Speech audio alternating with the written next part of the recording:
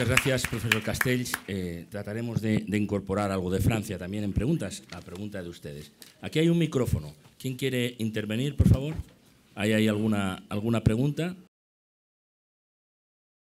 Hola, sí. Ahí, venga, que sí. te identificas, bueno, por favor. Soy María del Máster en Comunicación Política y en primer lugar quería agradecer que comparta con nosotros eh, sus conocimientos e investigación, eh, especialmente sobre el contexto actual e internacional, ¿no? que es de lo más interesante. Y mi pregunta va en la línea si teniendo en cuenta que estos eh, extremismos de derecha nos están llevando al retroceso de algunos derechos y libertades, estos, este retroceso realmente se va, se va a perpetuar en las sociedades occidentales o teniendo en cuenta que el voto de estos extremismos es un voto de, de, una población mayor y perteneciente también a sectores que están quedando obsoletos, sectores profesionales que están quedando obsoletos, ¿las próximas generaciones podrán cambiar esta tendencia? Gracias. Gracias. Bueno, yo tengo muchos defectos, pero uno de ellos es que nunca hablo del futuro uh, y le pongo, le pongo nervioso a mucha gente. Pero no hablo no por manía, sino porque no creo que haya una metodología seria que permita prever nada en el futuro pero simplemente mi opinión eh, personal, pero no lo tomen como nada eh, fundado, como mi conferencia sí es. Eh, bueno, primero, el tema de, que es un tema que a veces surge, de eh, si esto se concentra en las viejas generaciones, eh, bueno, es un problema que se resuelve demográficamente. Mi comentario a esto es que, bueno, que tenemos una alta esperanza de vida. Entonces, para el tiempo que se resuelva demográficamente está liquidado el planeta. No, les recuerdo que, que, la esperanza de vida en estos momentos en España es de, de 79, 80 para los hombres, 82, 84 para las mujeres. Bueno, y en Estados Unidos un poco menos, pero por ahí. Bueno, total, que no, eso no, no es la esperanza. Segundo, los, um, en muchos casos no son los viejos votan más, pero en el caso de lo que les contaba antes de como grupo demográfico, votan más a la derecha, a la extrema derecha. Pero en el caso que señalaba antes de, de Trump, en las zonas estas en donde eh, hay concentrado eh, todo el horror, eh, son los jóvenes los que más han, se han movilizado por Trump, porque son los que eh, tienen problemas de trabajo, son los, sus padres ya están amortizados, pero ellos tienen muchos problemas de trabajo eh, y sobre todo su falta de educación hace que no tengan muchas perspectivas. En tanto, por tanto, no, no es cierto que los jóvenes eh, sean los que eh, sistemáticamente no, uh, no votan. Digamos que votan menos en el caso de Inglaterra, en el caso de Francia, pero no son los que en el caso de Estados Unidos, los jóvenes más bien lo que han hecho es abstenerse. Abstenerse y hay una tendencia creciente de los jóvenes a abstenerse porque no ven perspectivas claras de lo tradicional, desde luego no, y de lo nuevo no están por este, este tipo de cuestiones. Con respecto a las industrias que son obsoletas, bueno, es que, claro, porque son obsoletas, pero quedan millones y millones de personas aferrados a estas industrias, cuanto más se moderniza, se robotiza y se globaliza, más exclusión masiva a todos estos sectores.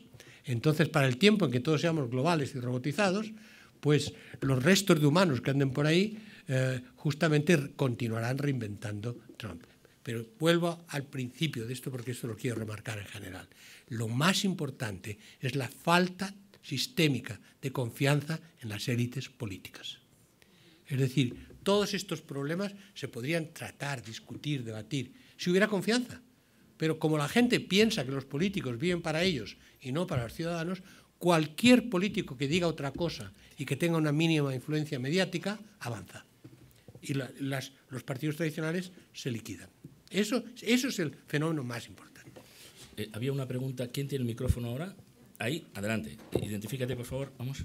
Hola, buenos días. Mi nombre es Nati, del máster en Comunicación Política también. Y usted al principio ha hablado sobre el nacionalismo y la principal amenaza de la democracia liberal son los grupos de extrema derecha.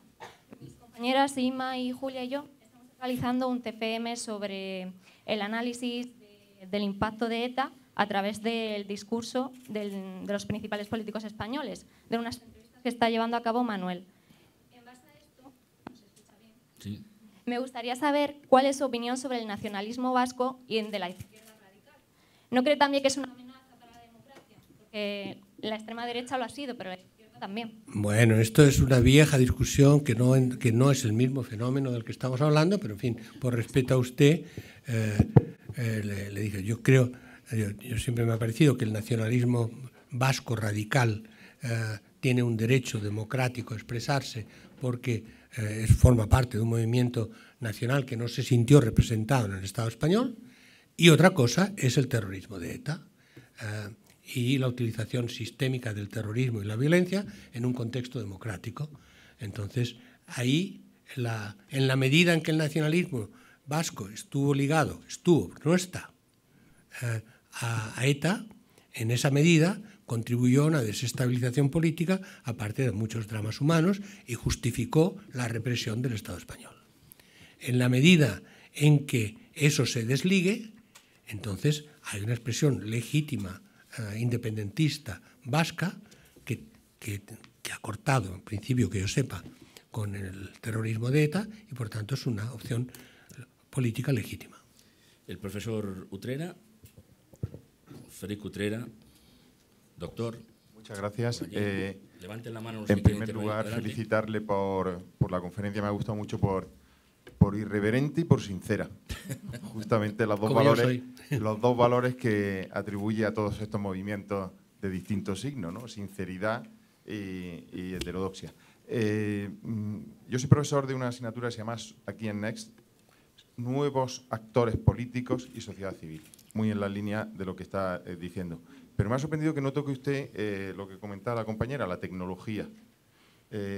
¿Hasta qué punto es importante el cambio de lo analógico a lo digital, que es lo que está provocando esta, eh, digamos, esta destrucción de, la economía en el mundo y a la vez una esperanza de, nueva, de una nueva situación. Y segundo, ¿cómo se, qué, ha pasado en Estados Unidos entre las nuevas empresas, entre las grandes empresas tecnológicas, Google, Facebook, Twitter y Trump? Gracias. Bueno, empecemos por lo segundo, que es lo más importante. Eh, las grandes empresas tecnológicas han estado totalmente contra Trump en su campaña, financiaron a a Hillary a fondo y, eh, mantuvieron una posición absolutamente crítica con Trump, incluso no las grandes, pero grupos de las eh, empresas medianas empezaron a, han creado una fundación, están recolectando fondos para hacer la secesión de California del resto de Estados Unidos, eh, cosa que no va a pasar, pero que es simbólico simbólico del sentimiento. Silicon Valley son gente mucho más eh, sofisticada, mucho más cultivada, y de hecho son los enemigos de esta clase obrera blanca en crisis, son dos, Wall Street y Silicon Valley. Entonces, ellos están claramente en las élites modernizadoras, globalizadoras, lo, único que, no, les, gusta el Estado, el Estado fuerte, los gobiernos, los sindicatos, son libertarios para, entendernos. Entonces, a nivel subjetivo son totalmente contra Trump. Luego, a nivel pragmático, obviamente, en cuanto llegó Trump, pues intensificaron sus negocios con la, Agencia de Seguridad Americana para venderles equipos más sofisticados. Em, pero bueno, no es el que no es realmente eh, la base social de Trump, al contrario, son una base social posible de resistencia a Trump, eh, tanto en lo económico como en lo social. Lo que pasa es que ellos no tienen política propia, un caso curioso, pero en cualquier caso son anti-Trump subjetivamente y en su práctica de financiación. Sobre las tecnologías, las tecnologías de red, estos muchos de mis obras han tratado de eso, como usted sabe muy bien, eh, lo que favorecen es la expresión autónoma o relativamente autónoma de la sociedad de lo que no está institucionalizado, articulado en partidos, articulado en Estado. Entonces, cuanto más un movimiento o un movimiento político, un movimiento social o luego las derivaciones políticas está fuera de las instituciones, más importante es el papel de las redes sociales. Fue en todos los movimientos indignados y sigue siendo, y, ha sido también en todos los movimientos em, de antisistema de extrema derecha la utilización de las redes es fundamental y masiva porque es la forma de autoorganización. Si estamos diciendo que los partidos tradicionales están colapsados, que las instituciones están desbordadas, lo que queda es la autoorganización de acción colectiva a partir de individuos. Y estos son las redes sociales, Por tanto, pero la gente pensaba, bueno, sí, entonces esto es la, democracia, la libertad, y entonces las redes sociales permiten que el cambio progresista. No, permiten el cambio de lo que quiere la sociedad. Y si hay un sector de la sociedad importante que se moviliza por elementos reaccionarios de racismo, sexismo, eh, nacionalismo extremo, eso también. O sea, lo que hacen las redes es saltar los controles institucionales que existían. Entonces, por eso hay mucha gente que, sobre todo los políticos tradicionales, que les dan pavor. Pero vamos a ver, pero ¿qué pasa? Hay que controlarlo, como sea. Yo siempre, mi, mi posición analítica en esto ha sido, miren, olvídense, no se puede controlar. Entonces, pues cerrar aquí uno, te sale por otro lado, es nuestro mundo, hay que vivir en ese mundo. Y entonces, ¿quieres contrarrestar lo que se dice en las redes? Está en las redes, pero fuera de las redes no hay vida. Me parece que por aquí ha ido a parar. ¿Quién lo tiene? Adelante. Hola, mi nombre es Evi, de República Dominicana, estudiante del máster en Dirección de Comunicación.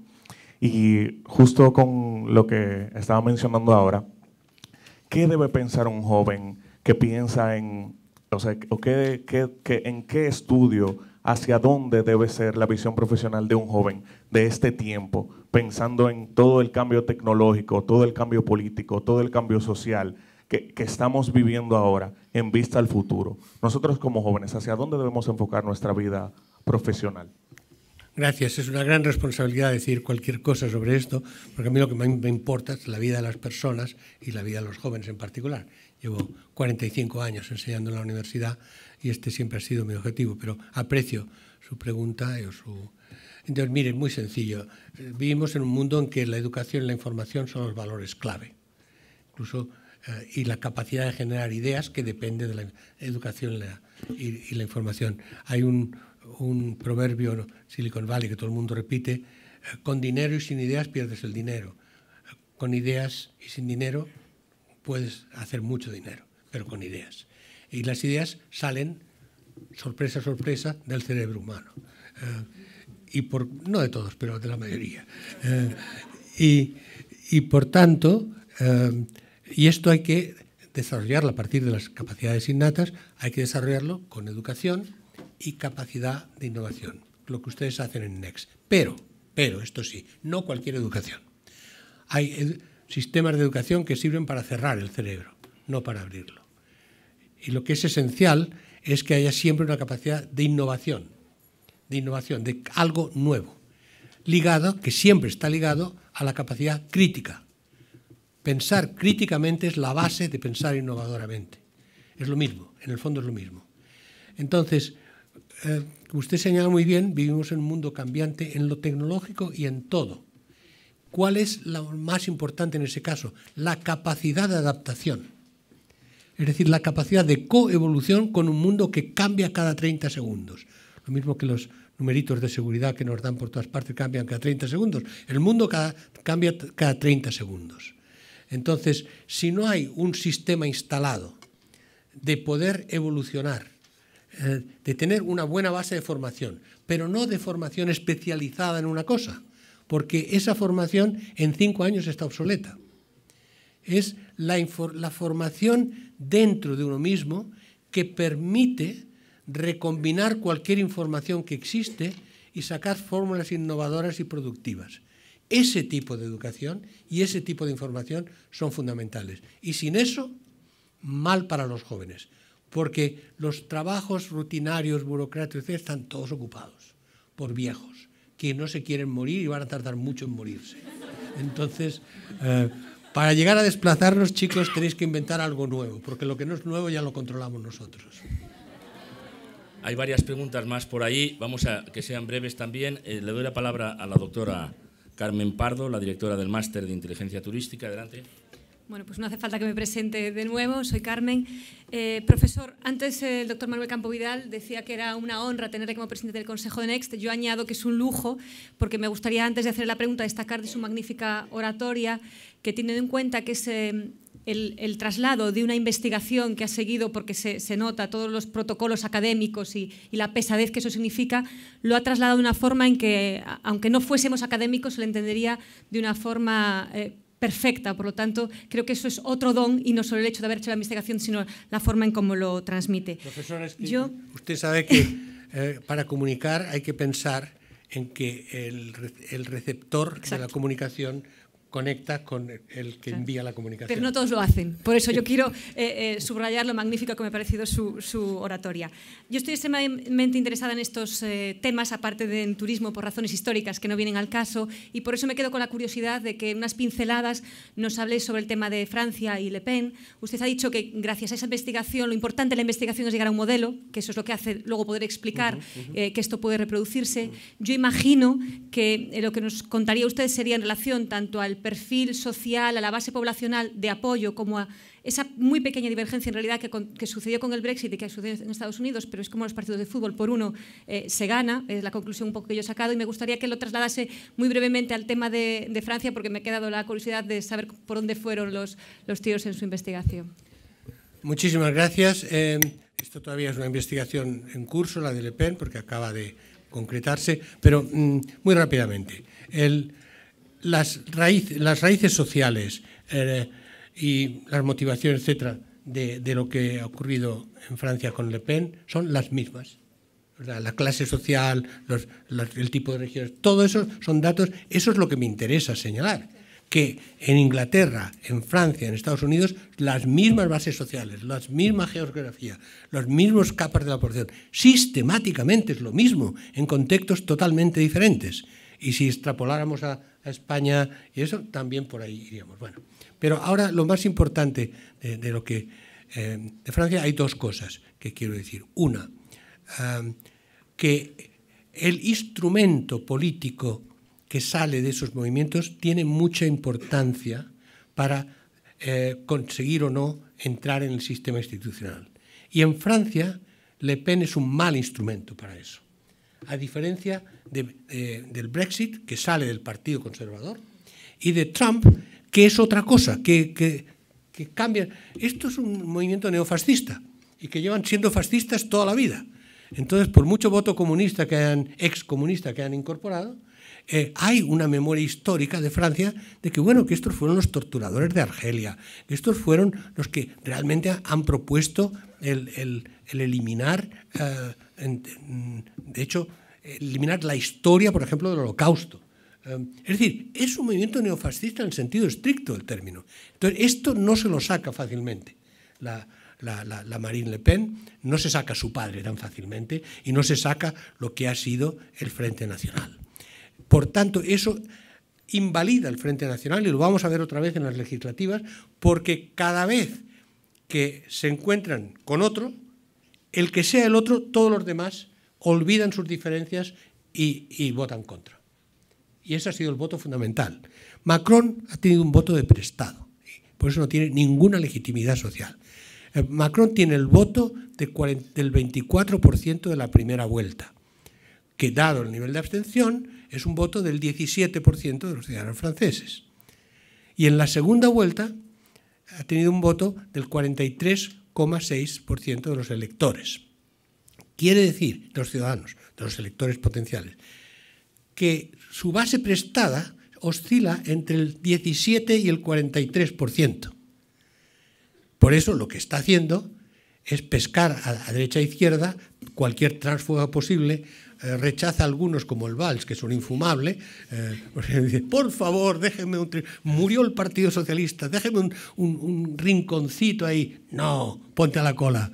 Eh, y por eso ha nombrado un primer ministro de derechas, y, pero luego va a nombrar a otra gente de, socialista. ¿Eso qué quiere decir? Va lo que yo considero más importante.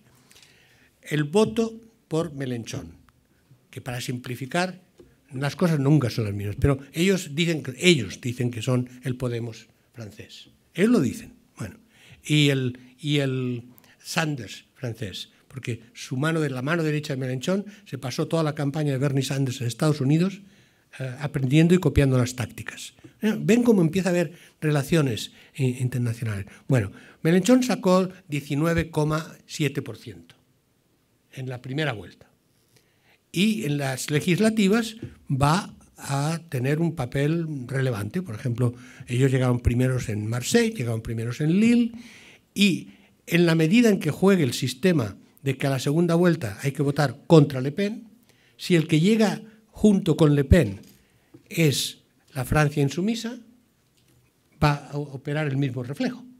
Y va a haber concentración del voto sobre la Francia insumisa si le gana la partida a, lo que sea eh, el voto Macron. Bueno, ¿eso qué quiere decir? Que si contamos, y eso sí lo hice, si contamos el voto de quienes en la primera vuelta, donde se votaba, votaron contra la Unión Europea, porque Mélenchon también, es por la, Europa de los pueblos en el futuro, pero hay que renegociar todo, todo, todo. El voto Mélenchon es anti-Unión Europea tal y como existe. Si contamos, y luego pequeños partidos que salieron, el voto contra la pertenencia actual a la Unión Europea en Francia fue del 49,7%. Una política ahora de refundación de la Unión Europea no puede basarse en un apoyo de la mitad de la población cuando hay que hacer grandes reestructuraciones. Y lo más importante es que los partidos tradicionales, la derecha ah, de los republicanos o lo que sea, el Partido Socialista, han desaparecido. Han desaparecido. Otra vez. Otra vez. Y a eso me refiero yo. La crisis de la democracia liberal que estaba latente está expresándose, está expresándose en la desaparición sucesiva de todos los grandes partidos en países importantes, como los que acabo de señalar, aparte de otros países. A eso me refiero. Muchas gracias. Vamos a ir concluyendo. Eh, mi nombre es Jorge García, de México, del máster de creación y aceleración de empresas, eh. y me quedé con curiosidad de preguntarle eh, acerca del tratado... A ver, ¿dónde, dónde? Ah, bueno, vale. si quieres que igual así. Comience de nuevo. Me quedé... que soy un robo.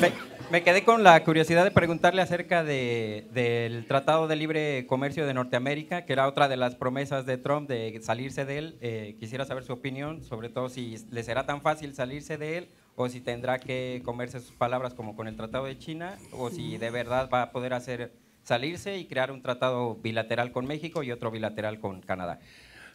Gracias, sí. Gracias porque en, las prisas que me dio Manuel salto esa parte, pero em, bueno, pero tiene, tiene razón. Eh, eh, pero porque me tengo que ir, entre otras cosas. Eh, no, vamos a ver. va a renegociar el NAFTA totalmente, el Tratado de Norteamérica. Lo va a renegociar de arriba abajo, con los dos. Y, pero yo creo que lo que resulte de ahí va a depender mucho de la relación bilateral con México. Bueno, a Canadá ya le ha puesto aranceles. O sea, a Canadá le ha puesto, de repente le, pone un arancel del 20% sobre la importación de madera y de leche. ¿Por qué de madera y de leche? Porque son las zonas fronterizas con Canadá que las empresas americanas están protestando, sobre todo los, los granjeros de la leche, de que les llega el, producto de, de, Canadá a un precio inferior y calidad superior. Entonces, ya ahí, para dar un ejemplo, ya de repente ha iniciado una mini guerra comercial con Canadá. Em, entonces, mm, todos los indicios es que no va, como decía, no va a denunciarlo enteramente, pero va a entrar en una renegociación muy, muy a fondo en que em, yo creo que el problema no va a ser Canadá, el problema va a ser lo que acabe obteniendo eh, de, México. Teóricamente, la amenaza a México era el el aumentar 20% los aranceles a todas las exportaciones mexicanas y 45% a las empresas maquiladoras, a las empresas americanas que producen allí, eh, si, no, si México no hacía una serie de concesiones, no sé qué. Eso lo ha retirado de momento. Entre otras cosas porque las economías eh, mexicanas y de Estados Unidos están tan imbricadas la una en la otra que un aumento del 20% de los precios de los productos mexicanos dispara la inflación en Estados Unidos. Porque no es que exportan un coche terminado, es que exportan un motor o exportan un embrague, que entra en el precio del coche terminado. La agricultura de California es mexicana a dos niveles. Por un lado, porque el, 50, el 70% de trabajadores son mexicanos, y, por otro lado porque está ah, dependiendo de insumos ah, mexicanos de exportación. Con lo cual, ah, de nuevo, Trump se metió en una serie de promesas que yo creo que él pensaba hacer y que, como es un indocumentado, él sí que es un indocumentado, al, llegar al, al momento de aplicarlas, le han empezado a decir, oye, sí, esto bien, pero hay que, hay que hilar fino, hay que negociar.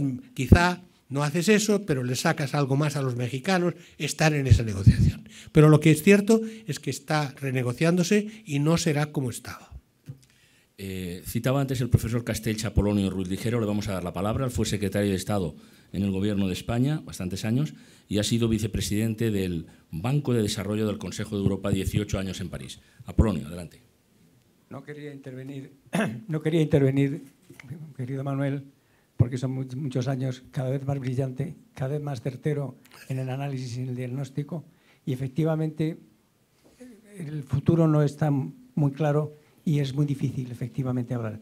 Había un economista español hace tiempo que le preguntó, tenía un cargo de responsabilidad en la administración y le preguntó el, el que gobernaba el país cómo estaba la economía y dijo, está tan mal que parece el año que viene. Qué bueno. Eh, una, cuestión referente a Francia. Lo que ha salvado de momento a Francia en no caer ni en el Brexit ni en, en Trump es lo que afortunadamente se llama el pacto republicano. Y que aunque los partidos clásicos han desaparecido, a la hora de la verdad, la segunda vuelta ha sido muy importante. Eso no lo ha resuelto Evidentemente las legislativas es un tema absolutamente... Y, en este momento no hay certidumbre de cómo se van a, desarrollar. Pero por lo menos, de momento, se ha salvado eh, una situación en un país que no es Holanda, que no es eh, un país pequeño, sino que es Francia. Muchas gracias, Manuel, como siempre, por tu análisis. Gracias a ti, Apolonio. Gracias por tu interés y por estar aquí. Eh, y coincido totalmente con tu visión. Yo a eso lo que añadiría es que eh, si, o sea, que Macron no lo va a tener fácil y que Macron tiene que hacer algo más que negociar con Alemania y con Europa, tiene que negociar con su propia población. Eh, y su primer gesto de política económica ha sido malo. Es decir, ahora sí que voy a poder implementar mi reforma laboral como quería. Y al día siguiente tiene una manifestación violenta y los sindicatos en contra y la Francia insumisa de, de Menechón recibiendo votos. Entonces, la negociación que él tiene que hacer no puede ser solo para sus políticas liberales, tiene que ser para proteger los sectores, eh, amplios sectores en Francia, que están sufriendo de la globalización europea que se llama Unión Europea. Unión Europea es la globalización en Europa. Entonces, eh, yo creo que tienes razón y que nos hemos salvado de algo que hubiera sido el fin de la Unión Europea, pero al mismo tiempo los datos, los factores estructurales están ahí y hay que tratarlos. No se puede huir hacia adelante. Eso es mi opinión personal. Últimas preguntas. Allí al lado de la puerta tienes el micrófono. Adelante, ¿se identifica? Hola, muchísimas gracias. Soy Sofía y me interesaba saber si en sus investigaciones tienes algo sobre la posición del gobierno americano frente a la industria del narcotráfico, sobre todo en países latinoamericanos. Y pues como soy mexicana me interesa más México ya que es el país vecino y pues hay gran controversia. Gracias. A ver, usted dice que pide mi posición. Es lo que has investigado y la posición que tienes frente a eso, porque hay muchas opiniones y muchas investigaciones y se dicen muchas cosas en las noticias, pero quisiera saber lo que fuera para ti más cierto. Vale. Bueno, en fin, yo posición nunca me posiciono mucho, salvo en el caso de una situación atroz como la de México. Trato de ser lo más solidario posible con, con los mexicanos, voy frecuentemente y, me, he manifestado públicamente en distintos foros allí. Eh, bueno, digamos que el, problema gravísimo de México no es el narcotráfico, es el narcoestado. Eh, o sea, el narcotráfico ha penetrado profundamente, y hace tiempo ya, desde que mataron a Colosio en el 94, ha penetrado profundamente el Estado mexicano, desde luego a nivel municipal, desde luego a nivel estadual en muchos estados. Tamaulipas ahora hemos visto lo que ha pasado con alguien que yo conocía personalmente, el gran periodista investigador de esos temas. Eh, y, eh, en buena medida en sectores, no digo todo el Estado, no digo que el presidente sea narco, pero sectores importantes del Estado mexicano están penetrados por el narco. Y partidos importantes del eh, sistema mexicano. Todos hablábamos del PRI, pero bueno, eh, cuando, cuando mm, desaparecieron los normalistas mexicanos, el alcalde del, pueblo en que desaparecieron y que los hizo desaparecer era del PRD, del supuesto partido de izquierda. Entonces yo creo que, en México la crisis de legitimidad ya es total, total. Y, entonces em, lo que prevé una convulsión política muy importante en México y es muy posible, las encuestas sí lo dicen, pero vamos a ver que eh, el próximo presidente eh, gane la elección, no sea presidente, gane la elección Manuel López Obrador. Es muy posible, va muy por delante en las encuestas. Ahora, si gana Manuel López Obrador, primero que lo dejen ganar. Y si no lo dejan ganar otra vez, puede haber una revuelta popular violenta. Y si lo dejan ganar, ahí se organiza una crisis sistémica como México todavía no había vivido. Entonces, la situación de México, del Estado mexicano, no puede perpetuarse indefinidamente. Está, sabemos que va a haber una explosión, no sabemos cuándo y por dónde, pero una explosión sí. Y por eso hay que prepararse, aparte de estas historias comerciales y tal, hay que prepararse para una solidaridad profunda con México y con los mexicanos en una situación de descomposición política. Adelante. Eh, buenas tardes, Juan Rangel de Panamá. Eh, extrapolando un poco eh, todo lo que hemos hablado en la tarde hacia América Latina, eh, me gustaría saber cómo el panorama político-social en América Latina eh, cree usted que se pueda reproducir lo que hemos visto en el caso Trump, el caso Brexit, eh, en países como, no sé, Centroamérica, parte de Sudamérica, en ejemplo Panamá, en el cual vivimos un momento de xenofobia bastante fuerte frente a algunos países como, por ejemplo, Venezuela, con, con la situación tan grande que están pasando, que en cinco años tenemos prácticamente medio millón de venezolanos en un país de solamente 3 millones y medio, o sea que el, el impacto ha sido bastante fuerte. ¿Cómo ve usted el futuro de la político-social de, de, estos países? Gracias. Bueno, si no te importa, vamos a acumular una pregunta más que hay allí, aquella joven, y, y iremos concluyendo. Buenas tardes, una oportunidad para mí en particular de escucharle. Entonces tengo una pregunta y es con relación a todo el fenómeno que hemos visto en, tanto en el sistema político y social. ¿Qué significaría el Brexit en forma positiva, porque ya hablamos de adaptación, para países como España o cualquier otro donde pudieran la capital económica ser una de, esas ciudades, o sea, en alguna de esas ciudades, ya sea aquí en España o en cualquier otro lugar? En positivo, ¿qué pudiera replantearse quizás la Unión Europea en cuanto al Brexit? Buscándole algo Perdón, en cuanto al Brexit, sí. Eh, perdón por acumular la pregunta. Estamos en el tema de Panamá y el tema de Brexit. ¿eh? Eh, no has entendido. Oye, repite el final de la pregunta, Jennifer, que no, se ha oído. La he oído, no la he entendido. Ah, no, no, pero la repite. bueno, ok. Vuelvo a preguntar. Hemos visto todo lo que ha supuesto el Brexit, de la salida ya de Inglaterra y demás. Entonces yo quiero saber, como uno de los retos que tienen todas las economías es reinventarse, adaptarse a los cambios, ¿qué sería algo positivo o un reto que pudiera remarcar la Unión Europea en cuanto a este fenómeno. O sea, ¿qué pudiéramos nosotros, bueno, España, por ejemplo, qué pudiera hacer para beneficiarse de algo que en principio es totalmente negativo? financiera Madrid, por ejemplo. Vale, vale, vale, vale. sí. ¿Cómo recuperamos los despojos del Brexit eh, y los reciclamos para nuestra propia prosperidad? Ahora se entiende. Eh, bueno, este, que se olviden, que se olviden la capital financiera del mundo es Londres, es la City de Londres. Y, el traslado a Frankfurt no soluciona nada, más bien agrava problemas de Frankfurt. El problema de Frankfurt es cómo sobrevive sin la conexión directa con la City de Londres en frente de Singapur o Tokio o, Taipei eh, o, en, estos momentos cada vez más Mumbai. O sea, eh, vamos a ver, el mundo europeo ha perdido peso en todos los sentidos y en todas partes lo que se están salvando es nudos globalizadores fundamentales, en particular en lo financiero, en lo tecnológico, etc. Entonces, si trasladamos las instituciones europeas financieras a Madrid, acabamos de liquidar las instituciones financieras europeas. No porque no haya gente buena en Madrid, sino porque el, símbolo ahora cómo, pero Madrid no, se ocupaba de América Latina, etcétera, ahora va a ser la capital europea. No, entonces, eh, pero usted tiene razón absolutamente de que hay gente que está pensando en términos simbólicos de cómo sustituimos no se puede sustituir el peso de algo como el Reino Unido en todos los aspectos. Lo que hay que hacer es recomponer, recomponer, resituar, eh, trabajar con lo, con lo que hay, que hay mucho, que es muchísimo, y que se puede eh, reorganizar. Pero mm, no tanto para beneficiarse, sino para no aumentar la catástrofe. Pero es una catástrofe, lo ha sido y estaremos ahí bastante tiempo.